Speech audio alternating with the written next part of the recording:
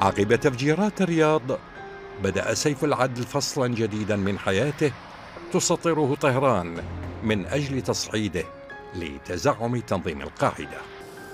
هذه العملية مرت بثلاث مراحل هي الغربلة التمكين والإطاحة بالمنافسين على زعامة القاعدة. أولا الغربلة. هرب من أفغانستان إلى إيران. العشرات من قيادات القاعدة بعد الحرب الأمريكية على أفغانستان واختارت إيران إيواء البعض وطرد آخرين أو ترحيلهم إلى دولهم. من بين أبرز من حاولت إيران ترحيلهم سليمان أبو غيث المتحدث الرسمي للقاعدة وصهر بن لادن.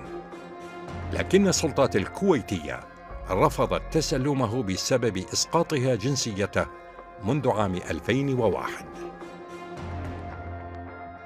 لم توفر له طهران الدعم أو الحماية بنفس القدر الذي منحته إلى سيف العدل ليضطر إلى الهرب إلى تركيا حيث قبض عليه ليتم ترحيله إلى الأردن ومنه إلى الولايات المتحدة حيث تمت محاكمته والحكم عليه بالسجن مدى الحياة في سبتمبر من عام 2014 لتورطه في العديد من الأعمال الإرهابية. Individuals who were trained at Kandahar, perhaps Durunta camps in Afghanistan, were able to return to their home countries, train others, espouse Islamic extremism, and in essence expand Al Qaeda's reach and, and lengthen the war on terror and the number of dead killed in that war in their home countries. I think Iran bears tremendous responsibility for this.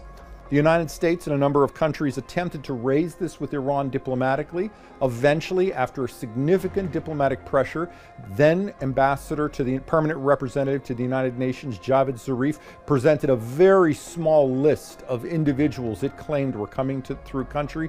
It was um, one of the most hypocritical acts of diplomacy Iran has ever conducted because the hundreds and thousands of individuals who had left with Iran's knowledge literally became a contagion of extremism in multiple countries.